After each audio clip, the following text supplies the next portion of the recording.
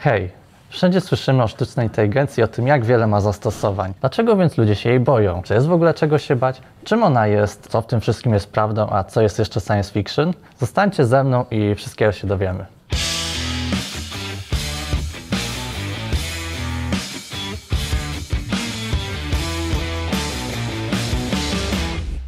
Sztuczna inteligencja, w skrócie AI, to temat pełen mitów i niezrozumienia, ale całkowicie to rozumiem. Nasz dzisiejszy świat no, już coraz bardziej przypomina to, co znamy z książek science fiction. Dlatego no, dla niektórych e, coraz ciężej jest zrozumieć, co jest już nauką, a co jeszcze fikcją. A jak dobrze wiemy, sztuczna inteligencja to podstawa większości science fiction. Tak e, patrząc po książkach, filmach, grach, możemy wymieniać dużo przykładów dobrych AI i złych AI. I jeżeli wy macie jakieś swoje typy, możecie spokojnie napisać w komentarzu, a ja zaczekam. No dobra, ale tak wracając do tematu, to powiedzmy sobie szczerze, sztuczna inteligencja kojarzy się przede wszystkim źle. Weźmy na przykład Odyseję Kosmiczną i asystent głosowy HAL 9000, który nagle postanowił, że wszystko roz... I'm sorry, Dave. I'm afraid I can't do that. Ale dobra, nie spoilerujmy. Tak tylko wspomnę, że ten film wyszedł w 1968 roku. To było rok przed lądowaniem na Księżycu. Uwierzcie mi, że wtedy nikt nie słyszał o asystentach głosowych takich jak Siri czy Alexa, czy jakikolwiek inny, który macie w swoim telefonie. Ale weźmy na warsztat inny przykład.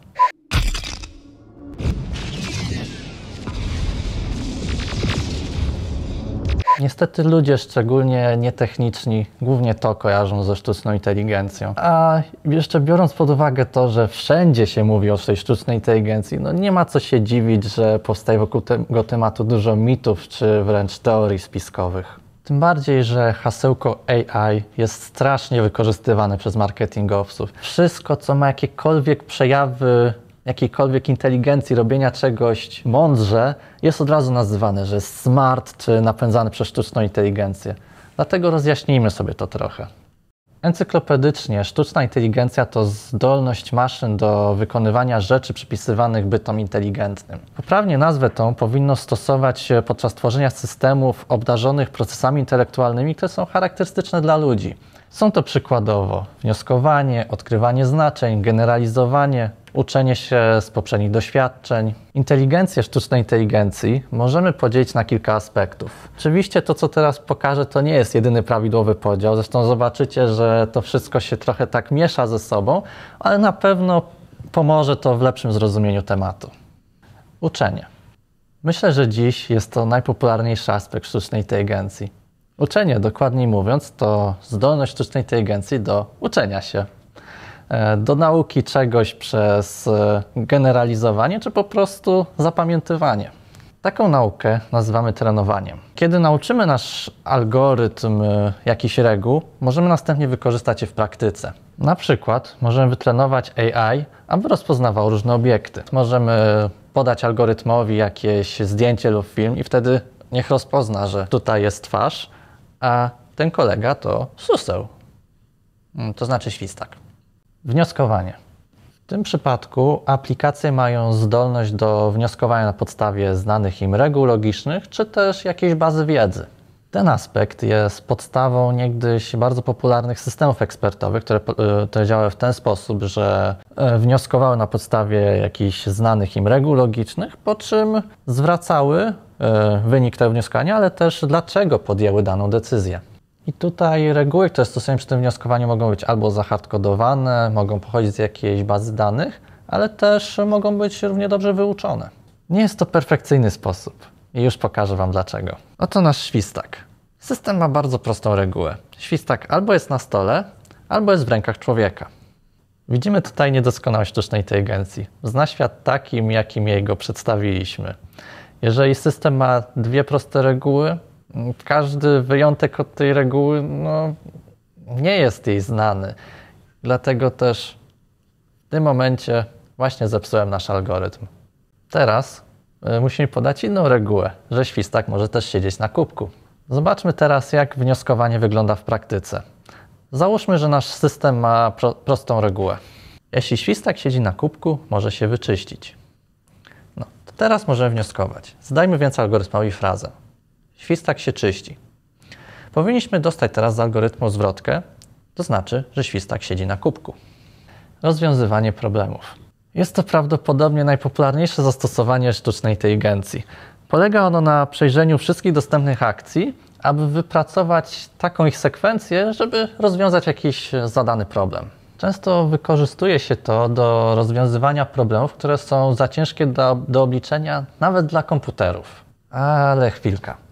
Za trudne dla komputerów i chcemy, żeby komputery nam to rozwiązały? No tak. I właśnie dlatego nazywamy to sztuczną inteligencją. Już tłumaczę o co mi chodzi. Jako trudne problemy nazywamy takie, których e, dokładne obliczenie zajęłoby mnóstwo czasu i tutaj przez mnóstwo czasu mam na myśli bardziej wręcz miliardy lat. Wiem, że to na pewno brzmi dla Was kosmicznie, ale wbrew pozorom to są bardzo powszechne problemy. Na przykład mój ulubiony, który fachowo nazywa się problemem komiwojażera. Chodzi w nim o znalezienie najkrótszej trasy przebiegającej przez kilka punktów, na przykład na mapie. I to jest dokładnie to, co firmy kurierskie robią każdego dnia i w zasadzie bardzo podobne do tego, co robi nawigacja w samochodzie. Mm, tylko co w tym trudnego? No dobra, wyobraźcie sobie, że kurier musi odwiedzić 100 miejsc, wliczając w to magazyn, z którego zaczyna trasę i na którym oczywiście też kończy swoją trasę. W tym przypadku, jeśli chcielibyśmy wygenerować wszystkie możliwe trasy w celu znalezienia tej najkrótszej, e, musielibyśmy sprawdzić ogromną liczbę tych tras. Dokładniej mówiąc, 100 silnia tych tras, co wynosi mniej więcej 9 i 157 zer zaraz za tym. Żeby zrozumieć, jak ogromna jest to liczba, to tutaj jako przykład podam, że e, w widzialnym wszechświecie liczba wszystkich atomów, przynajmniej z tego co wiemy, wynosi 1,80 zer zaraz za tą jedynką. Tego powiedzmy sobie szczerze, nie mamy nawet fizycznej możliwości sprawdzić tych wszystkich przypadków. To w takim razie, jak sztuczna inteligencja potrafi to zrobić w kilka minut, a nawet czasem i kilka sekund? Ha, ma na to swoje sposoby. Po prostu nie szuka optymalnej trasy. Dokładniej to przegląda sobie kilka odpowiednio wylosowanych tras i wybiera spośród nich naj, naj, tą najlepszą. A to już jak losować, żeby to miało sens, to są do tego różne, różne podejścia, które nazywamy heurystykami. Tutaj możemy m.in. wymienić algorytmy genetyczny, algorytmy ewolucyjne, symulowane wyżarzanie, algorytm mrówkowy i myślę, że można było jeszcze wiele innych sposobów tak wymienić. Percepcja. Jest to jeden z najbardziej zdumiewających, interesujących, ale też niebezpiecznych aspektów sztucznej inteligencji. Polega ona na analizie zewnętrznego otoczenia przez różne zmysły, takie jak na przykład wzrok. W zasadzie jest to coś, co mogliście zobaczyć chwilę wcześniej na przykładzie uczenia, bo no, chociażby uczenie się wykorzystuje właśnie przy percepcji. Skupmy się jednak teraz bardziej właśnie na samej tej percepcji, a nie stricte na uczeniu. Do tego obszaru percepcji, jak możecie się domyślać, zaliczamy wszelkie algorytmy rozpoznawania czegokolwiek na zdjęciach, na przykład obiektów, płci, wieku, e, zachowań, ale też na przykład chorób. Dzisiaj w połączeniu z technikami uczenia maszynowego jest to chyba taki najbardziej rozpoznawalny obszar sztucznej inteligencji. Jednak teraz pozwólcie, że wytłumaczę, co miałem na myśli na początku, mówiąc, że percepcja jest zdumiewająca, interesująca, ale też niebezpieczna. Zdumiewająca dlatego, że jesteśmy przyzwyczajeni do wielu rzeczy, które robi sztuczna inteligencja. Takie rzeczy jak znajdowanie trasy na mapie, y, rekomendacje w sklepie. Jesteśmy do tego przyzwyczajeni, nawet nie zwracamy uwagi, że to jest sztuczna inteligencja. Ale jak mamy algorytm, który nagle potrafi nam powiedzieć ze zdjęcia, ile, ile mamy lat, to to jest takie wow, Przypomnijmy sobie tylko, jaki był szał tak w 2015 roku, jak Microsoft wypuścił stronę How Old, gdzie właśnie się dokładnie to działo, że wrzucaliśmy zdjęcie i mogliśmy się dowiedzieć, ile na tym zdjęciu mamy lat według sztucznej inteligencji. Interesująca? Jak najbardziej. Z programistycznego punktu widzenia napisanie algorytmu wykonującego jakikolwiek rodzaj percepcji jest po prostu satysfakcjonujące. Nawet te najprostsze rodzaje percepcji. Jeżeli zrobimy taki algorytm, który potrafi, nie wiem, na przykład na zdjęciu rozpoznać powiedzmy kubek, to jest to po prostu bardzo satysfakcjonujące, nawet jeżeli jest to wbrew pozorom dość proste do zrobienia. Tak swoją drogą, w następnym epizodzie Synergy Cafe e, kolega pokaże Wam, jak można w prosty sposób napisać rozpoznawanie twarzy.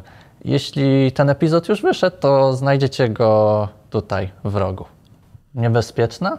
No cóż, jak tak wspomnimy sobie te science fiction, to większość tych, które znamy ze sztuczną inteligencją, właśnie pokazywała zazwyczaj jakieś dystopijne światy, gdzie kamery rozpoznają obywateli, przewidują ich zachowania, czy też oceniają ich na podstawie ich zachowań.